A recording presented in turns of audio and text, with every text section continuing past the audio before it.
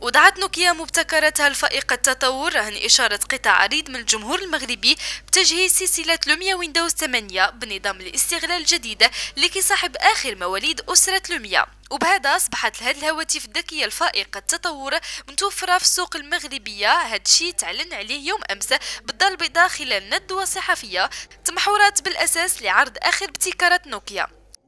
اليوم إحنا موجودين لإطلاق تقريبا أهم آه، هواتف أو أهم سلسلة بتاريخ نوكيا آه، على الإطلاق.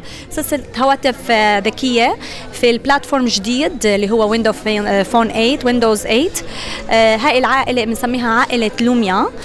في عندك لوميا 920 لوميا 820 ولوميا 620 عائلة هواتف لوميا متميزة جدا. زي ما شفتي مش بس بالألوان الفريدة من نوعها ألوان مش أي منافسه بتطرحها وال design والتصاميم اللي بتهم المستخدم المغربي اللي ذواق.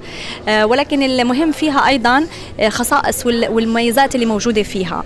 فيها خصائص مش موجودة بأي هواتف منافسة.